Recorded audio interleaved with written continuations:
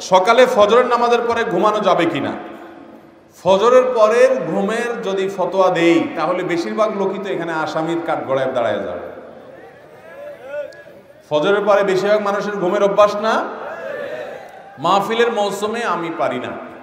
কিন্তু মাহফিলের মৌসুম বাদে বাকি সময় আমার বাসায় আমি আমার পরিবারের সদস্যদেরকে চেষ্টা করি রাত দশটার ভেতরে বিছানায় চলে যাওয়া এটা আজকাল সোনার হরিণ হয়ে গেছে। আমরা রাতে বারোটার আগে গ্রামের মানুষও শোয় না আজকে। যদি বিছানায় যাইও আমরা এগারোটায়, এক ঘণ্টা আমরা মোবাইলে মোনাজাত করি। মোবাইলের মোনাজাত বুঝেননি আপনারা?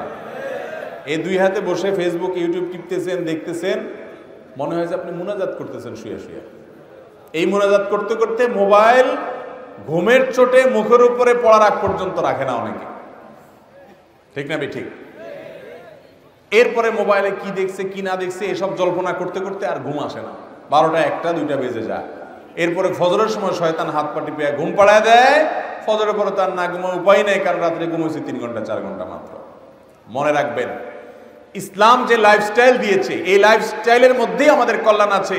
করোনা যখন প্যান্ডামিক যখন চরম পর্যায়ে, তখন একটা তথ্য আমাদের মধ্যে, মাঝে প্রচুর পরিমাণে শেয়ার হয়েছে।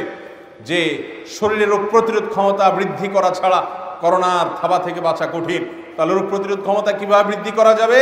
তার জন্য অনেক আমলের কথা, অনেক করণীয় কথা ডাক্তার সাহেবরা আমাদেরকে বাতাইছেন। এর ভিতরে একটা করণীয় হলো রাতে তাড়াতাড়ি ঘুমানো। রাত দশটা থেকে দুইটার যে ঘুম, এই ঘুমটা আমাদের বডিতে ইমিউন এবং রোগ প্রতিরোধ ক্ষমতাকে শক্তিশালী করে।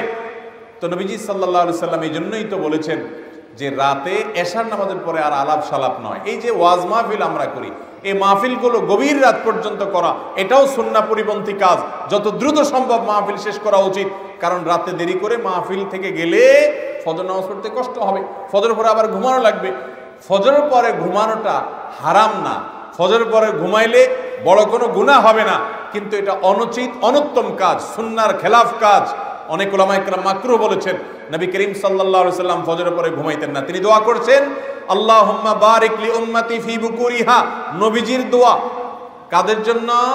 যারা সকালবেলা কাজ করে, সকালবেলা যারা জেগে থাকে, তিনি দোয়া করেছেন, আল্লাহ, আমার উম্মতের জন্য সকালবেলার সময়টাতে আপনি বরকত দিবেন।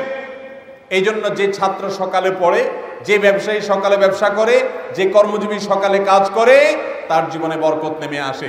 দুপুরে ঘুমের কথা নবীজি সাল্লাহ সাল্লাম বলেছেন, এখন আমাদের সমাজে দুপুরে ঘুম নেই, সকালে ঘুম আছে। যখন ঘুমানো যাবে না তখন আমরা ঘুমাই। যখন ঘুমাইতে বলে তখন আমরা জেগে থাকি। অর্থাৎ কোরআন হাদিস যা বলে হুবহু তার উল্টা করি। এই জন্য আমাদের দুনিয়ার জীবনে উন্নতি নাই। ভাইরা আমার, রাতে তাড়াতাড়ি ঘুমের অভ্যাস করতে হবে। আমি প্রায় সময় বলি, এই আমলটা বড় কঠিন হয়ে গেছে। আমাদের সবার জন্য একটা তিতা করলা টাইপ আমল হয়ে গেছে। আমরা অন্য অনেক আমল করতে রাজি আছি রাতে তাড়াতাড়ি শুইতে। চেষ্টা করব তো ইনশাল্লাহ